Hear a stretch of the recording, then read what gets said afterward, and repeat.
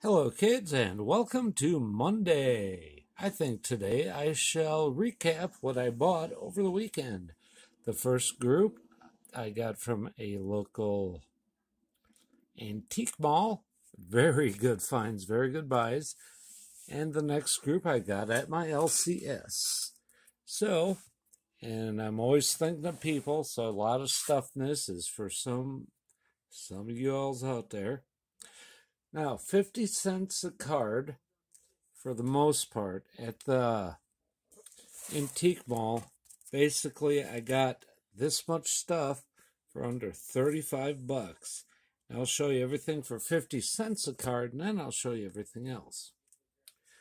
From the Kansas City Kings, we have a team leaders card where Jimmy Walker apparently was a very good player he has three of them free throws, scoring, and assists. And I think it's funny on each picture they have him looking in a different direction. They just, I think, kept inverting the negative or whatever. And there's Sam Lacey for rebounds. It's got a ding corner, a little round, but still. A local card here the Royals Kings Yearly Leaders. Let's see what that says here. Mentioned on the back are such Hall of Famers like Nate Archibald, Oscar Robinson, Robertson, sorry, Jerry Lucas played here in Kansas City. So, very good card. No Hall of Famers there, but they are mentioned there for the team. Some more Kansas City stuff. We got three of or three players, four cards of the A's, and yes, these are Kansas City A's, as you can see. Come on, focus. The very last line there. Kansas City. So these are 1968 cards. They are commons, but I figure, look, Dave will like these. Got Bob Kennedy, even the manager. 1973 Kansas City Royals team card. That's pretty cool. And there's going to be one somewhere in Heritage, that same card that they bought back. I've seen them already the Royals, the A's, the Pirates with a big gold stamp here for buyback. They actually went around, Topps did, bought these cards, then just put a new stamp on them and put them into those boxes if you're lucky enough to get one. There's shortstop Jackie Hernandez, 1971. Now, this one's off cut quite a bit, but Kansas City A's, it is vintage. It's an original 57 Topps. Yes, it is off cut, but for 50 cents, you know, why not? So these were 50 cents a piece for origami folder. Now, this next grouping here, they were also 50 cents each, but I've already put them in stuff.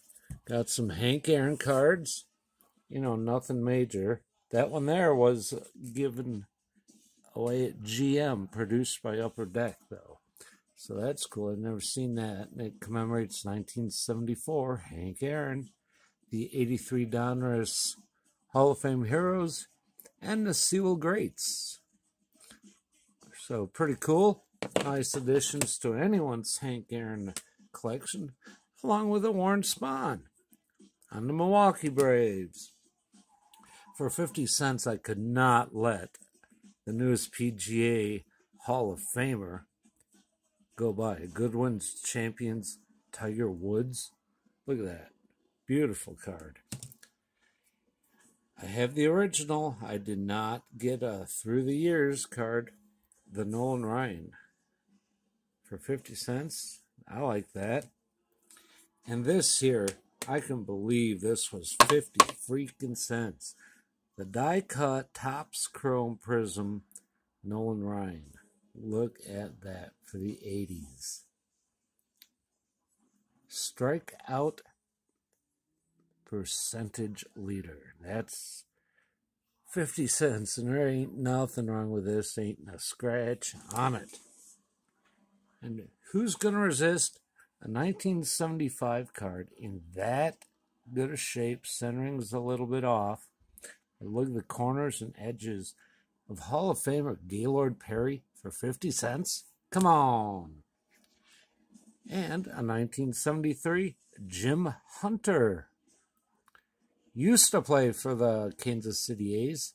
Now here he's on Oakland. Little bit rough. I don't care. Hall of Famer for 50 cents.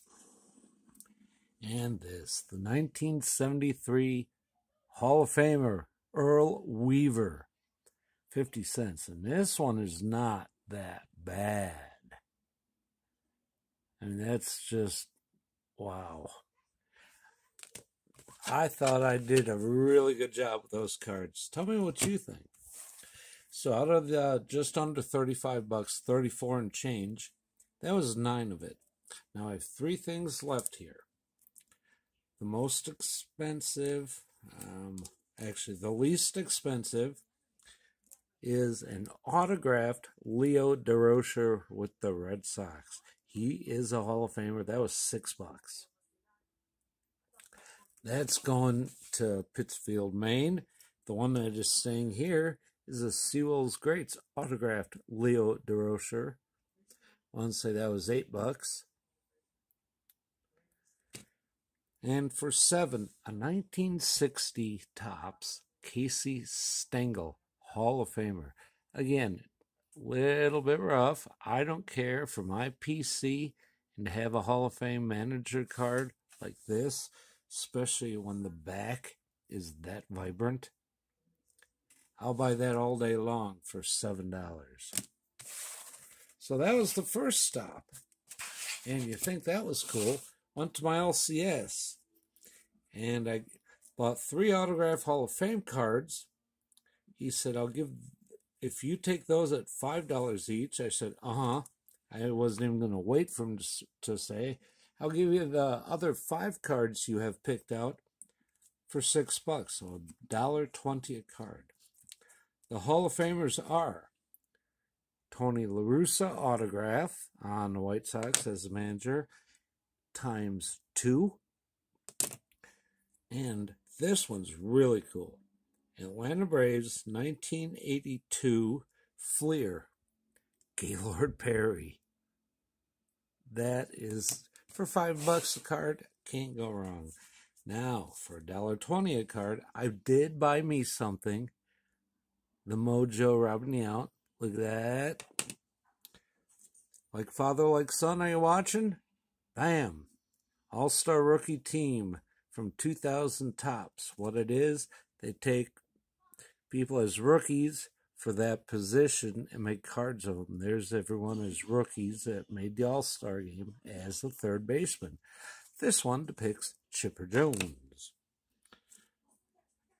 Heroes of Fenway, and who can argue with Nomar, Ted Williams, and Carl Yastrzemski? That's pretty cool.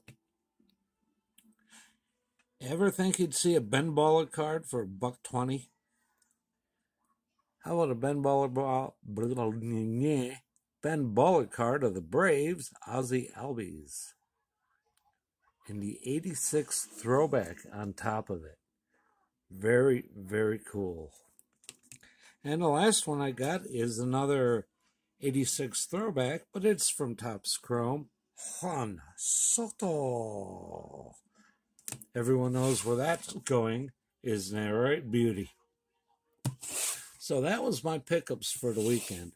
Tell me how you think I did. I mean, I know how I did in my eyes, but you know, I like to hear from you guys as well. And also, be excellent to each other. I hope you had a great weekend, enjoyed that WrestleMania. Hopefully, that's the last two part WrestleMania they ever do. Hope you enjoyed my April Fool's Day video along with my wrestling openings that were for WrestleMania weekend. And you know what? Just be excellent to each other, treat others the way you want to be treated, and peace.